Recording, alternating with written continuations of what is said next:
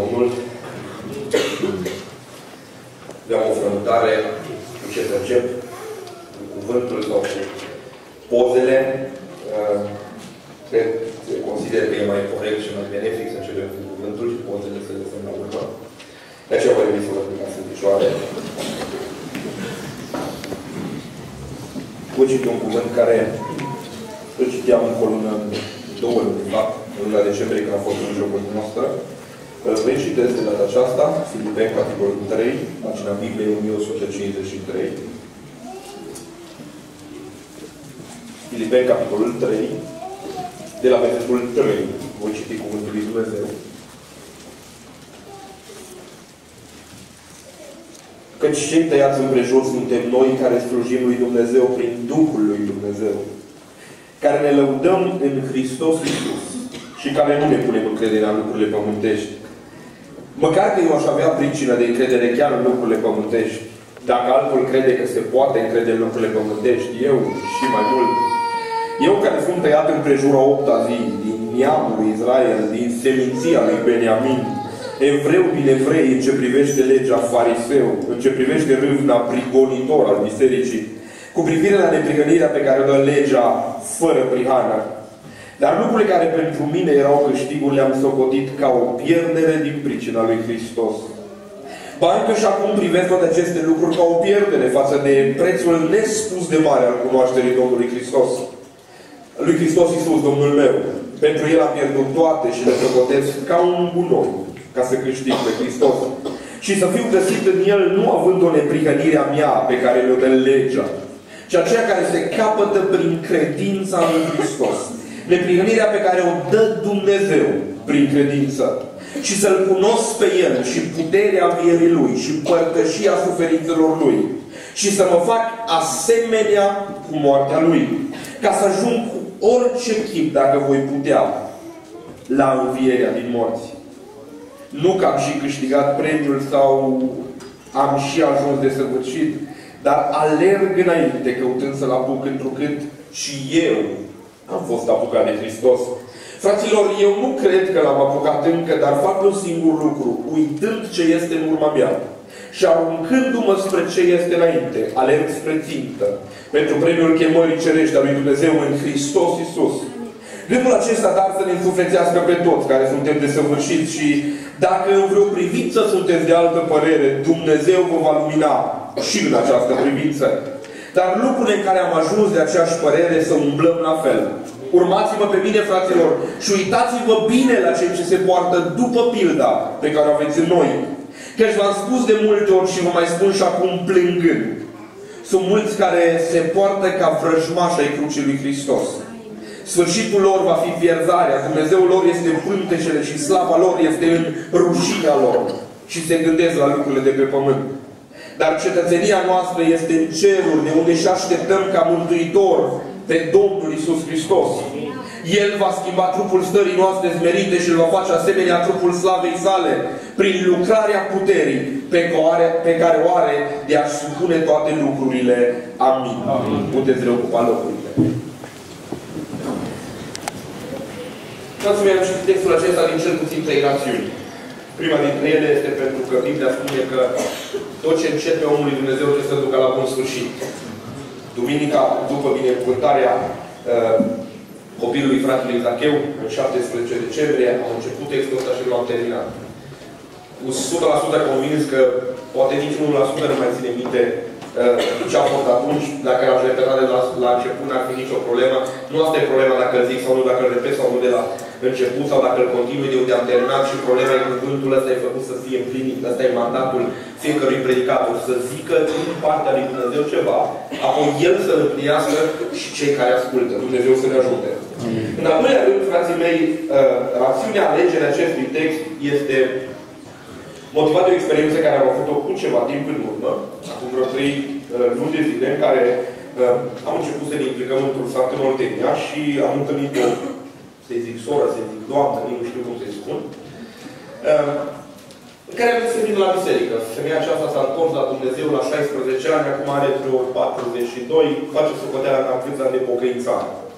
Ma, anii care a fost la biserică, anii care n-a fost la biserică, dar unul special a fost la biserică. Și am solicitat-o să vină la biserică. Vezi, nu pot acum, am solicitat-o două oară, nu pot acum. Și într-o zi i-am luat inima din și am mers la dânsa în casă. Și am întrebat-o, care e motivul? Și mi-a zis, frate Flaviu, dați-mi un răgaz. Ce răgaz îi dai unei persoane să vină la biserică? Și în felul următor. Eu m-am întors la 16 ani la Dumnezeu. Am încheiat legământ cu Dumnezeu la două M-am căsătorit, am făcut copii, uh, am venit la biserică aproape în toți acești ani, dar eu niciodată nu l-am cunoscut pe Dumnezeu. Eu am rămas ca plăzând. Să ai să ai atâția ani de pocăință și niciodată să nu fi cunoscut pe Dumnezeu, cum se poate N-ați citit în Biblie, prima reacție. Dar cum să nu? Știu foarte multe lucruri despre Dumnezeu. Dar eu niciodată nu l-am cunoscut și nu l-am simțit pe Dumnezeu în viața mea. Niciodată. Lasă-mă să evaluez, să mă gândesc. Să văd dacă drumul ăsta merită sau nu merită. După, faceți o socoteală, 42 minus 16. După 20 de ani, și-au pus o întrebare sinceră în inima ei și au zis, eu nu l-am cunoscut pe Dumnezeu niciodată. Și am fost șocat în asta. Oare câți oameni am botezat sau au botezat care nici măcar n-au trecut prin asemenea experiență, nici măcar poate nu și-au pus probleme. Și în ziua lui Hristos vor sta în fața lui Dumnezeu și vor zice, du-te de la mine că nu te-am cunoscut niciodată. Nu pentru că ai făcut sau n-ai făcut, nu pentru că ai venit la biserică sau n-ai venit, Că tu niciodată nu mai cunoscut. Pentru că ai făcut și fără de lege. Că ăsta e produsul fără de lege. Ioan Botezătorul evreu, evreu model, o slujbă de la Dumnezeu din cer, predică cum nu predica nimeni până în momentul acela, păstor, da? Poți fi nici păstor. Vineau oameni buluc la el în pustie, un om care avea o dietă alimentară sfântă, un om care îl slujea pe Dumnezeu, un om care se ruga, un om care predica cuvântul lui Dumnezeu și omul ăsta e sincer. Odată în viață și inima dis și sincer și zice așa. La botezul Domnului Iisus Hristos el zice așa. Eu nu-L cunosc. Să zici păstor, ești predicator. Predici cuvântul, adică nu-L cunoșteam. Nu, eu nu-L cunoșteam. Asta zice Ioan. Dar a venit o zi. Și ziua asta e momentul în care a venit, a venit Hristos să-L boteze în apă. Și atunci am văzut că El e mielul lui Dumnezeu care ridică păcatul lumii. Și mi l-a ridicat așa în Aici a făcut diferența. Când am văzut chipul acela de porumbel, când am văzut cerul deschis, când am auzit glasul Tatălui, acesta este Fiul meu preubit în care îmi găsesc toată plăcerea. Atunci l-am cunoscut. Și Ioan, în primul capitol, în ultima parte, strigă plin de putere, iată mielul lui Dumnezeu care ridică păcatul lui. Cum se poate așa ceva? Să princi Evanghelia și să nu-L cunoști pe Dumnezeu. Să n-ai experiența aceasta întâlnirii cu Dumnezeu. Textul din Scriptură și experiența personală acestei femei îmi dă dreptate și cred că sunt și cazuri și de acestea. Știți care e frământarea mea? Al treia rațiune pentru care am ales textul acesta este că am auzit că va fi un botez. Ehm, dacă Dumnezeu ajută luna mai și noi vom avea un botez. E prin credință. Avem o persoană scrisă, e prin credință. Eu cred că vor fi cel puțin patru. Dar mergem prin credință până atunci. Vom vedea. Frații mei, ce vreau să spun? Mi-e frică că mulți din tinerii noștri vin la biserică, cântă, se roagă și n-au avut niciodată întâlnirea cu Dumnezeu. Mi-e frică că parcurgem cateheză Că aflăm informații despre Dumnezeu. Că suntem educați religios excepțional. Dar noi niciodată nu ne-am întâlnit cu Dumnezeu. Niciodată n-am simțit popoara păcatului atât de, de, de grea în viața noastră, încât să o deșertăm înaintea Lui Dumnezeu și efectiv să simțim prezența și persoana Lui Dumnezeu în viața noastră. Ne forțăm, ne, ne educăm să nu jurăm, să nu mergem în anumite locuri, că tata și mama zice lucrul acesta, că păstorul îi place, că religia penticostală ne interzice. Zicea un tânăr uh, la colegiul, colegiul de nu, dar de ce nu bei? Și el a zis, religia mea îmi interzice să bea. Foarte bun răspuns, nu? Groaznic de nasol răspuns. Eu nu beau pentru că nu vreau să ne cinstesc pe tata, să-L iubesc pe Dumnezeu, de-aia nu beau. Nu că religia îmi interzice. Da, sau interzice consumul de alcool, consumul de tutun. Dar noi nu facem pentru că ne interzice religia pentecostală, pentru că suntem într-un sistem religios bun, de altfel, sau pentru că ne-am întâlnit cu Dumnezeu. Omul acesta era un om religios și recunoaște lucrul acesta. În ce privește legea și sistemul religios extraordinar. Dar omul acesta rămânea la atât. N-avea această întâlnire cu Dumnezeu, această ardere lăuntrică, acest moment în care să copleșească prezența lui Dumnezeu, să zică, îl cunosc pe Hristos, l-am cunoscut pe Hristos, de dragul lui slujesc. Frații mei, trăim o vreme de educație religioasă, foarte bună, excepțională. Avem zeci sute de predici. În orice temă din Biblie accesezi internetul și te poți să te documentezi. Orice text din Biblie poți să găsești 3-4 predici despre el. Poate textele mai puțin accesibile uh, nu le vom găsi.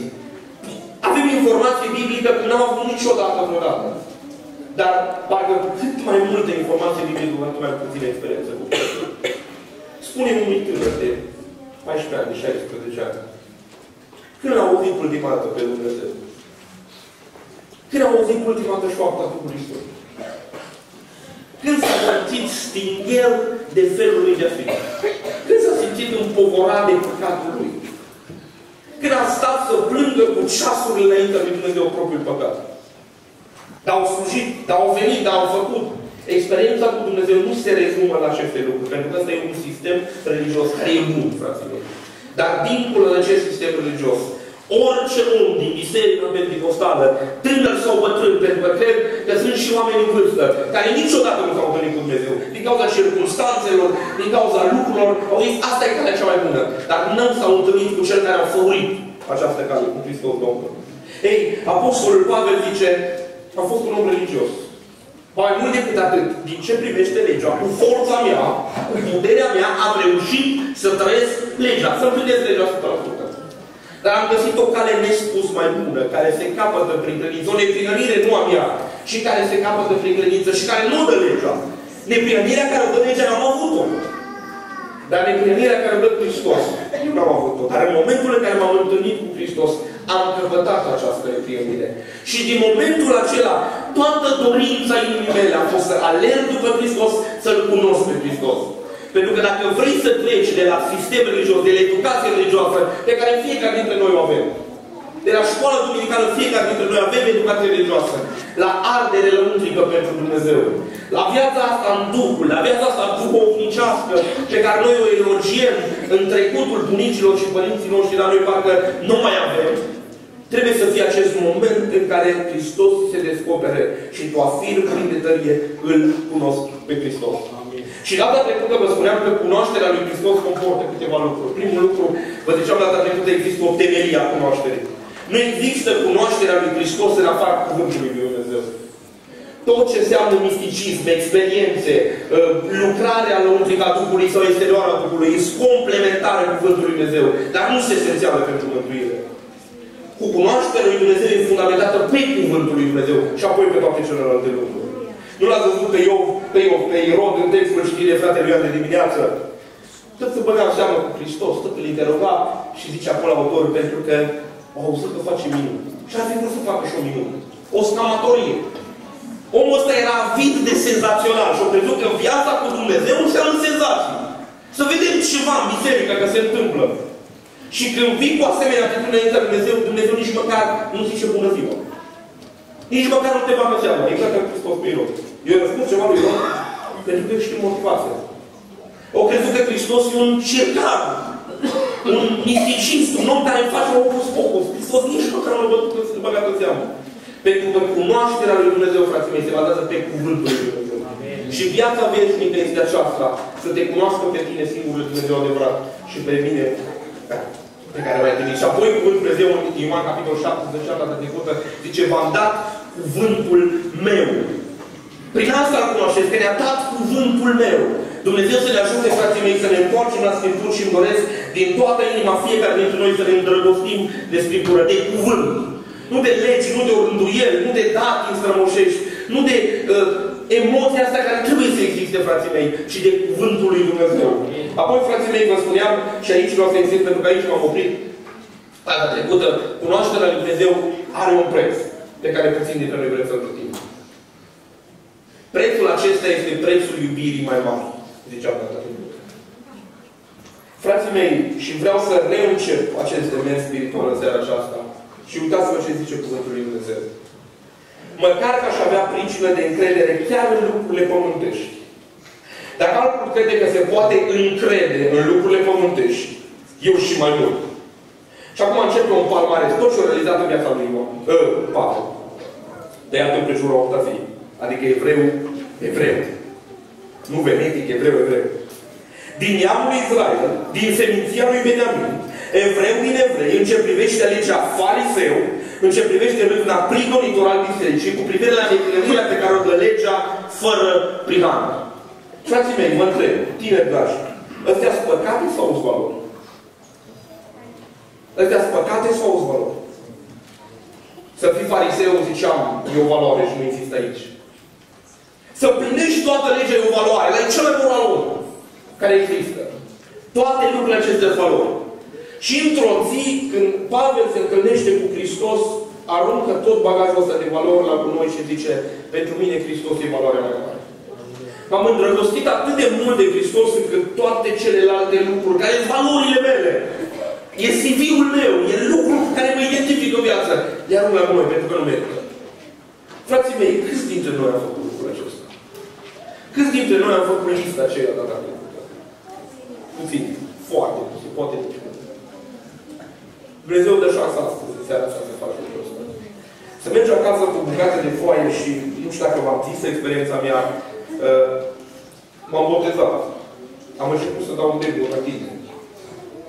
Dar eu nu am, nu l-am cunoscut cu adevărat pe Dumnezeu până într-o seară care mi s-a descoperit. Dacă ar fi sincer, așa, la fiul ierbii, să-mi evaluez filmele erau înaintea lui Hristos. Studiul biblic, în sine, fără Hristos, era înaintea lui Hristos. Puzzle-urile erau înaintea lui Hristos. Peșterile erau înaintea lui Hristos. Muntele era înaintea lui Hristos. Oricând, dacă era să aleg între Hristos și munte, alegea muntele. Până într-o zi în care Dumnezeu mi s-a descoperit. Frații mei, uită-te ce umple de pasiune inima. Tineri dragi, uitați-vă ce nu fascinează. Dacă aveți un timp liber, dacă mama și tata e plecată de acasă, cu ce îți consumi timpul liber? Ai valoarea ta cea mai mare. Timpul tău liber e barometrul cel mai fidel pentru valoarea care iubești cel mai mult. Care este ea? Poate somnul pentru unii. Poate calculatorul pentru alții. Poate televizorul pentru alții. Poate cine știe de ce jocuri, cine știe ce platformă de comunicare pentru alții. Dar întotdeauna timpul nostru liber spune ceea ce ne pasionează, ceea ce ne împlinește. A venit un tânăr extraordinar, excepțional la Hristos. Și îmi vreau și o viața veșnică. A trecut prin lege și a zis, tot, tot, tot, perfect. Omul ăsta e reeducat religios. Și acum Hristos a vrut să vadă dacă chiar are adevărul pentru el. Să facă trecerea asta, să îl descopere pe Hristos. Și zice, nu pun degetul pe rană, pe cea mai înaltă valoare lui. Și a zis, nu, Dumnezeu nu are nimic cu bogăție. Dar când bogăția e valoarea ta cea mai mare, Dumnezeu vrea să le faci praf. Și dacă te are în plan și dacă ești sincer cu tine însuși, Dumnezeu va da cadre care toată bogăția ta să cadă la pământ, ca să rămână Hristos. Și zice, nu te vinde tot ce ai. Și hai cu mine. Ca să văd dintre bogăție, dintre bogăție și eu Hristos, care valorează mai mult? Și omul ăsta cântărit și zice, dacă pierd bogăție, nu mai am nimic. Câștig un om, câștig o cale, nu mi se vede. Trist, s-a întors și a plecat de la Hristos și Hristos plânge cu el. Se uită trist la el. Și zice, o, cât de a nevoie voi intra bogații în Împărăția Lui Dumnezeu. În Vechiul Testament se întâlnește cu un om, cu un prieten bun, Dumnezeu îl numește de prieten, toate secretele lui le spune omului acestuia. Până într-o zi în care vede că în inima lui Avram făgăduința lui Dumnezeu se materializează într-un copil, un copil care crește mare toate visele, tot canalul, toată seminția, tot viitorul, toată binecuvântarea au fost într-o singură persoană, într-o singură valoare. Copilul meu, pruncul meu, născut din mine și din sat. Și Domnul Iisus Hristos zice, Dumnezeu le zice, noi ne considerăm prieteni. Tu zici că mă urmezi pe mine. Am o, am o frământare. Oare chiar eu sunt valoarea ta cea mai mare? Oare chiar mă cunoști pe mine cu adevărat așa cum trebuie să mă cunoști Avram sau nu? Vreau să dovedești lucrul ăsta, jungheți propriul copil. Și ce spune autorul cărții romani, Pavel? Viu din morți. Pavel, Avram credea că el va da înapoi. Și Avram merge până pe moria și să mă mor copilul și rămân cu Dumnezeu. În fața unei asemenea demonstrații, Dumnezeu zice, oprește-te, Avrame. Am înțeles pentru mine pentru tine nu mai putea să nimic de pe acest pământ. E desprins inima de cea mai mare valoare care o ai, familia și copilul tău, ca să rămâi cu mine. Avram, nu trebuie să faci lucrul ăsta și Dumnezeu poartă de grijă. În fața unui asemenea model, frații mei, cum o să stau eu înainte lui Dumnezeu? Cu ce tupeu vei sta tu înainte lui Dumnezeu? Să zici, da, Doamne, am avut preocupările mele. N-am avut timpul meu, am avut pasiunile mele, am avut afacerile mele. Propria familie. La început Dumnezeu, pentru că valoarea numărul unu a vieții noastre trebuie să fie Dumnezeu. Frații mei, ăsta e prețul cunoașterii Dumnezeu. Vrem să te descopere Dumnezeu, vrem să-L cunoaștem cu adevărat, plătește prețul iubirii mai mare. Subclasează toate valorile tale și în vârful lancii să fie Hristos și numai Hristos. Ăsta e prețul cunoașterii. Mă duc mai departe, frații mei, și vreau să vă spun că există în calea acestei cunoaștere există niște obstacole.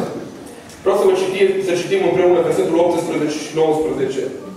Căci v-a spus de multe ori și vă mai spun și acum plângând.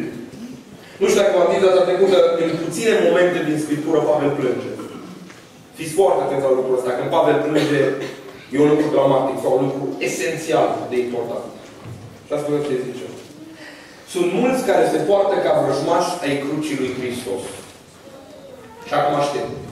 Să văd lista din Apocalipsa. Ăia care au numele Domnului de șer, curvari, curitori, mincinoși și așa mai departe. Acolo ce zice Biblia. Sfârșitul acestor oameni, sentința lor veșnică va fi pierzarea și acum o caracteristică în trei părți. Dumnezeul lor este pântecele și slava lor este în rușinea lor. Și se gândesc la lucrurile de pe pământ. Repet. Dumnezeul lor este pântecele, slava lor este în rușinea lor și trei, se gândesc la lucrurile de pe pământ. Frații mei, în lumina acestor caracteristici, câte dintre ele le primiți? Sincer, nu sunteți preocupați de pământ. Doamne ajută, Doamne, aici trăim. Aici muncim, aici mâncăm, aici ne scopii, aici ne mărităm, aici ne însurăm, aici ne facem concediile pe pământ. Cum să nu te gândești la pe pământ? Nu ești cu capul nori. Numai când ești îndrăgostit, ești cu capul nori. Altfel, numai la pământ te gândești, nu? E normal și e logic. Ei, Pavel zice plângând, oamenii care sunt frășmași ai crucii lui Hristos sunt caracterizați de trei lucruri. Unu, Dumnezeul lor este pântecele. Adică ce contează cel mai mult în jurul lor și în viața lor este bunul lor plac, bunul lor mers. Să-mi iasă Să fiu eu satisfăcut. Uitați-vă cât de mult accent se pune în viața aceasta pe satisfacție, pe foamea aceasta pământească. Nu doar mă refer la mâncare, la haine, la modă, la mașini, la case. Nebunia asta, frații mei. Și vă ziceam în jur ceva despre lucrul acesta. De ce? Vă întreb, uitați-vă la Hristos. Câte case au Hristos?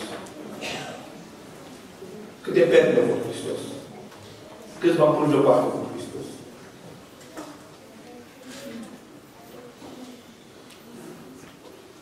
Câți oameni mântuiți au Hristos? Ce timp de rugăciune a avut Hristos? Ce minuni făcea Hristos? Nu vi se par ciudate lucrurile astea? Diferența între noi și El. Că noi suntem urmașii Lui, noi suntem în Hristos, copii al Lui Hristos. Și semănăm 100% cu El. Vorbi serios? Frații mei, toată viața Hristos a lepădat de sine și de propriul lui confort, de dragul celuilalt de lângă El. Vă întreb în lumina acestui exemplu, în lumina acestui model, cum vom sta înaintea lui Dumnezeu? Și noi suntem frații mai mici al lui Hristos. Noi suntem mai lui. Cum vom sta înaintea lui Dumnezeu? Un Hristos care nu a avut nimic ca Lui, ci tot a fost jertfă de sine, ca noi să fim mântuiți, frații mei. Și noi le avem pe toate. Și cu toate acestea, ce ne contează cel mai mult eu și propria persoană. Ei, în lumina acesta, plânge Pavel și plânge Hristos. Ăștia sunt și crucii lui Hristos. Crucea lui Hristos înseamnă sacrificiu total. Și omul secolului 21 înseamnă eu, și dacă mai rămâne ceva pentru fratele, pentru Dumnezeu și pentru biserică. Timpul meu și dacă mai rămâne ceva, mă duc la biserică, dacă nu, nu. Dacă nu, mă duc în misiune, dacă nu, nu. Uh, vizitez bolnavul sau dacă nu. Pentru că nu mai am timp, domnule, că asta e. E criză de timp. Doi, nu cred că ni se potrivește nouă, să dea Dumnezeu să nu se potrivească nouă. Slava lor este în rușinea lor. Sunt oamenii care se laudă cu mizerii lumii acestea. Oamenii care se laudă cu, cu gunoaie, cu non-valorile lumii acestea. Poate mai sunt și de ăștia. Și ziceam, poate cel mai caracteristic lucru și se gândesc la lucrurile de pe pământ. Adică oamenii materialiști. Oamenii care nu privesc dincolo. Versetul 20 zice, dar cetățenia noastră este în cerul, de unde și așteptăm ca Mântuitor pe Domnul Isus Hristos. Și un singur lucru mai spun. Versetul, versetul 15 uh, zice așa. E foarte interesant retorica lui Pavel aici. Ascultă ce zice. Gândul acesta, dar, să ne însuflețească pe toți, acela de a apuca pe Hristos, de a recunoaște pe Hristos, care suntem desăvârșiți. Și dacă în vreo privință sunteți de altă părere, Dumnezeu vă va lumina și în această privință. Dar în lucrurile în care am ajuns de aceeași părere, să umblăm la fel. Frații mei, în calea cunoașterii lui Hristos sau există, am zis că există o temelie care e cuvântul lui Dumnezeu, există un preț, pierdeți iubirii mai mari. Sunt niște obstacole. Și astea sunt obstacole. Materialismul, egocentrismul, uh, păcatul, frații mei, toate lucrurile astea zice Apostolul uh, Pavel, dacă Pavel a scris de să le dăm la o parte și să mergem cu deplină încredere la Domnul. Și apoi există un cadru al cunoașterii. Numai în cadrul ăsta poți să-L cunoști Dumnezeu și nicăieri la Dumnezeu. Cadrul acesta e cadrul uceniciei, în care cineva e peste tine și tu ești peste celălalt. În care cineva, ziceam, se uită la tine și tu te uiți la celălalt. Și ce zice Pavel aici? Uitați-vă la mine. Câți dintre părinți au tupeul să zică, uite-te la mine? Eram săptămâna asta într-un context și povesteam uh, cu cineva și mi-au răspuns și ceva dus acasă și am mulțumit lui Dumnezeu pentru asemenea uh, Povestea despre un alt copil care zicea uh, la întrebarea cine se roagă, copilul a zis tata. Și tata se roagă. Pentru că copilul ăla l-a văzut o dată, de două ori, de trei ori, de o sută de ori pe tata că se roagă. Și pentru el tata e omul rugăciune. Ehm, câți dintre noi, frați care predicăm, frați din comitet, părinți aici, mai avea copilul să-i zici copilului tău, roagă cum așa te rog eu. Câți dintre noi putem face asta? Odată tata e ocupat, tu ai timp să te rogi că vine la școală și ai treabă de tata, e ocupat, 100%. Dumnezeu să aibă milă de noi. Pavel are curajul ăsta astăzi. Cadrul acesta îl cunoaște, zică, uite-te la mine. Uite-te la mine! Urmărea, urmești, urmează în pilda. Am curajul lucrul acesta. Și în cadrul acesta sunt oameni divergenți, sunt păreri divergente. Unul stă cu părere, așa e, așa e, așa. Pavel zice, nu ăstea ar trebui să ne separe. Și sunt lucruri care nu că mergem înainte. Mai mult decât atât, ascultați ce zice Biblia. Versetul 12. Nu că am și câștigat premiul sau că am ajuns de săvârșit. Eu, Pavel, am ajuns de săvârșit. Asta vă spun. Dar alerg înainte căutând să-L apuc cât și eu am fost apucat de Hristos. Pavel zice, eu n-am ajuns de săvârșit. Potrivit versetul 12. Citiți versetul 15. Gândul acesta să ne însuflețească pe toți care suntem de săvârșit. Pe Pavel. În 12 zici că nu ești de săvârșit, că ești pe drumul de săvârșit, acum zici că ești de săvârșit, nu? Sau dacă suntem desăvârșiți, ce mai avem nevoie de lumina lui Dumnezeu? Și dacă în vreo privință sunteți de altă părere, Dumnezeu vă va lumina și în această privință.